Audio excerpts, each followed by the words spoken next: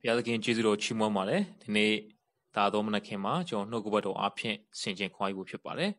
ဒီနှုတ်ကပတ်တော်ကတော့ကျွန်တော်ကိုဘုရားသခင်ကဒီရက်ပိုင်းအတွင်းမှာဖော်ပြတဲ့ခွန်အားရတဲ့နှုတ်ကပတ်တော်လေးပဲဖြစ်ပါတယ်46ခုမြောက်သောစာလံအပိုင်ငယ်30 46ခုမြောက်သောစာလံအပိုင်ငယ်30ငြိမ်ဝတ်လျက်နေကြလောငါကဘုရားသခင်ဖြစ်သည်ဟုသိမှတ်ကြလောလူမျိုးတို့တွင်ငါသည်ဘုံပွင့်မည်မြေကြီးပေါ်မှာဘုံပွင့်မည် တမန်ကျမ်းစာကပြောပါတယ်ငြိမ်ဝတ်လျက်နေကြလောဒီနေ့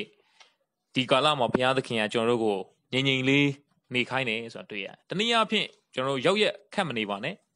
ဟိုကလုံမယ်ဒီကလုံမယ်ဆိုပြီးတော့တင့်ပလန်နေနေအကုန်လုံးနားလိုက်ပါအခုကမနာခြင်းလဲနားရပြီဖြစ်တယ်ဒါပေမဲ့ဒီကြားထဲမှာတော့မှတချို့ကကိုယ့်ရဲ့စိတ်ဆန္ဒနဲ့ကိုယ့်ရဲ့အတ္တနဲ့လှုပ်ချင်တဲ့သူတွေကလည်းအများရှိသေးတယ်ဆိုတာတွေ့ရတယ်ဒါကြောင့်မို့ဘုရားသခင်ကဒီကာလမှာကျွန်တော်တို့ကို လူတွေကိုငြိမ်ခိုင်းလိုက်တယ်ဆိုတာတွေ့ရအထူးသဖြင့်ဖခင်သားသမီးများယုံကြည်သူများငြိမ်ငြိမ်နေဖို့ဖခင်သခင်ကအလိုတော်ရှိတယ်။ဘာလို့ဖခင်သခင်ကငြိမ်ငြိမ်နေခိုင်းတာလဲ။ကျွန်တော်တို့လှုပ်ဆောင်ရတဲ့ဖခင်အခွင့်ပေးထားတဲ့ကာလမှာကျွန်တော်တို့သဘောကျွန်တော်ဆန္ဒနဲ့လုပ်နေတာတွေများပြီ။ဖခင်အလိုတော်ကပျောက်နေတယ်။ကိုယ့်အလိုကိုယ့်ရဲ့ဆန္ဒကိုရှေ့တန်းတင်ပြီးကျွန်တော်အသက်ရှင်ခဲ့တဲ့နေ့ရက်တွေအများပြီ။အမှုတော်ဆောင်နေရင်းနဲ့ပဲဖခင်အကြောင်းမှာကျွန်တော်ပါဝင်နေရင်ဖခင်အကြောင်းတက်နေရင်းနဲ့ပဲသာသနာအလုပ်တွေလုပ်နေရင်းနဲ့ပဲ ကိုယ့်အလိုဆန္ဒအတိုင်းလုပ်နေတယ်ဆိုတော့တွေ့ရဖះလူတော်ကပျောက်နေတယ်လုပ်နေတာတော့အမှုတော်တွေပါပဲဖះเจ้าမှာပဲလုပ်နေတာပါသာသနာလုပ်တွေလုပ်နေတာပါဒါပေမဲ့ကိုယ့်ရဲ့ဆန္ဒနဲ့လှုပ်ဆောင်နေတယ်ဆိုတော့ကျွန်တော်များသောအားဖြင့်တွေ့ရပါတယ်ကိုယ့်အသင်းတော်ကိုယ့်အဖွဲ့အစည်းကိုယ့်နာမည်ကြီးဖို့ကိုယ့်ရဲ့အသင်းတော်တိုးတက်ဖို့ကိုယ့်ရဲ့အဖွဲ့အစည်းနာမည်ကြီးဖို့ကျွန်တော်ကိုလုပ်နေတဲ့အခန်းကဏ္ဍမှာဖះသခင်နှစ်သက်ဖို့ထက်လူတွေနှစ်သက်ဖို့ကျွန်တော်တို့များသောအားဖြင့်လှုပ်ဆောင်တယ်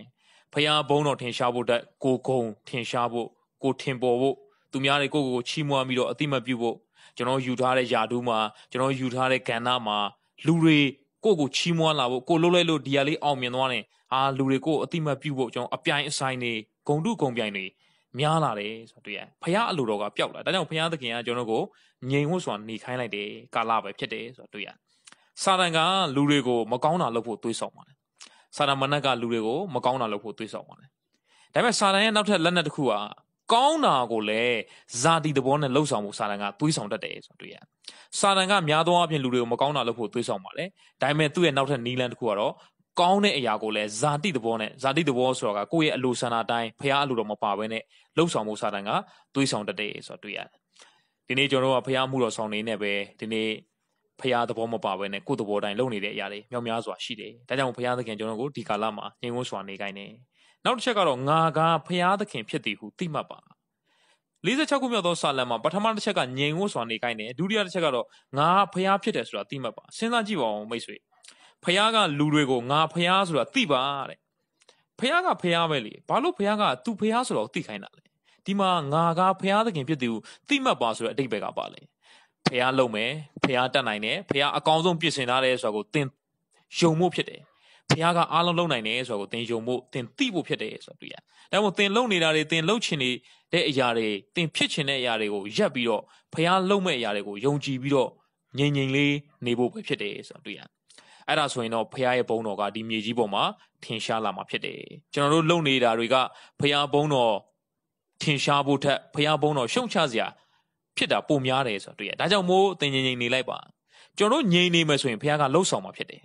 ကျွန်တော်တို့ငြိမ်ဝတ်စွာနေခြင်းကဖခင်ရဲ့လက်တော်ကိုအခွင့်ပေးလိုက်ခြင်းပဲဖြစ်တယ်ဆိုတာတွေ့ရတယ်။ဒါကြောင့် COVID-19 ဖြစ်နေတဲ့အချိန်မှာကျွန်တော်တို့ stay at home နေရပါတယ်။တချို့တွေ quarantine ဝင်ရပါတယ်။ချို့တွေ lockdown ချခံရပါတယ်။ဒါတွေကဘုရားသခင်ကျွန်တော်တို့ကိုဘာလို့ခိုင်းလဲဆိုရင်တော့ငြိမ်ငြိမ်လေးနေဖို့အတွက်တုံသင်ခြင်းပဲဖြစ်တယ်ဆိုတာတွေ့ရတယ်။ထွတ်မြောက်အကျမ်းခန်းကြီး14အပိုင်ငယ်73မှာဒီနေ့မောရှေနဲ့ဣသရေလလူမျိုးတွေအဲ ဒီပင်လယ်နီရဲ့အရှိကိုရောက်လာတဲ့ခါမှာအနောက်မှာလည်းဖာရောဘင်းရဲ့စစ်တပ်ကလိုက်လာတယ်အရှိမှာလည်းပင်လယ်နီရခံနေတယ်ဘလို့လုံမလဲဒီကိစ္စမှာအားလုံးဆူညံပေါ်လို့ရက်ကုန်တယ်မောရှိငါတို့ဟိုမှာကြုံခံရတာပိုကောင်းသေးတယ်အခုတော့ဒီမှာသေရတော့မယ်မင်းဘလို့လုံတာလဲအမျိုးမျိုးလူတွေကဆူညံပေါ်လို့ရိုက်တဲ့အခါမှာမောရှိကဘာပြောလဲဆိုရင်တော့မောရှိကလည်းမစိုးရင်ကြနဲ့ငြိမ်ဝတ်စွာရက်နေကြထာဝရဘုရားသည်ယနေ့ပြတော်မူသောကယ်တင်ခြင်းကိုကြည့်ရှုကြလော့မစိုးရင်နဲ့တဲ့ ငြိမ်ငြိမ်လေးရက်နေပါတဲ့ဖရာသခင်ပြမဲ့ကဲတင်ခြင်းကိုမင်းတို့ဒီနေ့ကြည့်နေပါဒီနေ့လူတွေကိုဖရာမောရှေကပြောလို့ဆိုငြိမ်ငြိမ်လေးရက်နေပါဖရာလုံမဲ့အရာကိုမင်းကြည့်နေပါဒီနေ့ကျွန်တော်တို့လည်းဖရာလုံမဲ့လက်တော်ကိုငြိမ်ဝတ်စွာစောင့်မျှော်တတ်ဖို့အင်မတန်ရေးကြည့်တယ်ဆိုတွေ့ရအံ့ဩဖွယ်ကောင်းပါတယ်ဒီနေ့မောရှိလည်းမထင်ထားဘူးဖရာသခင်ဘာလုပ်လဲဆိုပင်လယ်နီးကိုနှစ်ချမ်းခွဲပြီးတော့သူတို့ကို ဟိုဘက်ကန်းကိုပို့ဆောင်တယ်ဆိုတော့တွေ့ရတယ်။အန်အောစရာကောင်းပါလေဒီနေ့ COVID-19 ဖရာသခင်လုံမဲ့လမ်းဖရာပြင်ဆင်ထားတဲ့လမ်းကအန်အောပေါ်ရရှိပါတယ်။အဲ့ဒီလမ်းကိုကျွန်တော်ညင်ဝတ်စွာနေပြီးတော့ဖရာပြမဲ့ခဲ့တဲ့ညင်ကိုစောင့်မျှော်တက်ဖို့အင်မတန်အရေးကြီးတယ်ဆိုတော့တွေ့ရတယ်။ဟေရှားနာဂရီကျမ်းအခန်းကြီး30အပိုင်ငယ်15ဟေရှားနာဂရီကျမ်းအခန်းကြီး30အပိုင်ငယ်15မှာဘယ်လိုရေးထားလဲဆိုရင်ဤသေလအမျိုးဤတန်ရှင်းတော်မူသောဖရာအရှင်ထာဝရဘုရားမိန်တော်မူသည်ကား သင်တို့သည် ပြောင်းလဲ၍ငြိမ်ဝတ်စွာနေလင်ကဲတင်ခြင်းသို့ရောက်ကြလိမ့်မည်ငြိမ်ဝတ်စွာနေခြင်းယုံကြည်ခြင်းအားဖြင့်ခွန်အားအစွမ်းကိုရကြလိမ့်မည်သင်တို့သည်ထို့သို့သောအလိုမရှိကြဒီနေ့ဘုရားသခင်ကပြောလဲဆိုတော့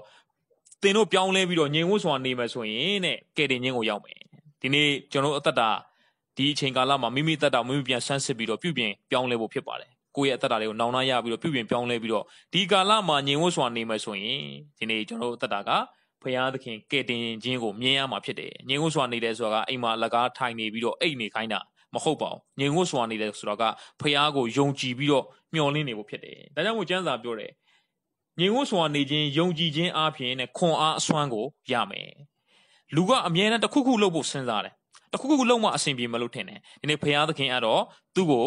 လှုပ်ဆောင်မှုတစ်ခုထက်ဘုရားသခင်ကယုံကြည်ဖို့ကိုတောင်းဆိုတယ်ဆိုတာတွေ့ရတယ်။ဒါကြောင့်မို့ဒီကာလမှာသင်ငြိမ်နေပြီးတော့သခင်ရှုကဘုရားသခင်ဖြစ်တယ်အကုန်တက်နိုင်တယ်အကုန်လုံနိုင်တယ်အချိန်တိုင်းဘုရားသခင်အကောင်းဆုံးတစ်ခုခုလုပ်မယ်ဆိုတာကိုယုံကြည်မျှော်လင့်ပြီးတော့ငြိမ်ဝတ်စွာနေဖို့အတွက်ခွန်အားပေးပါတယ်။အားလုံးကိုဘုရားရှင်ကောင်းကြီးပေးပါစေ။